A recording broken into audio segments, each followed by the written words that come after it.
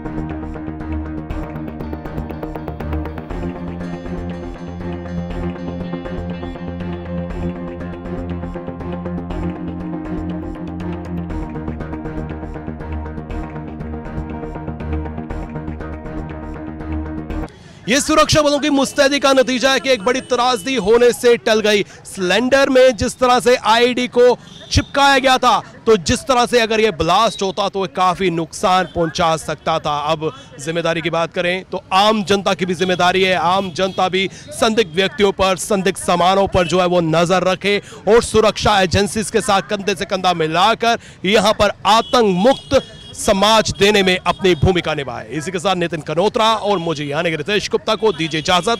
फिर मिलेंगे। नमस्कार।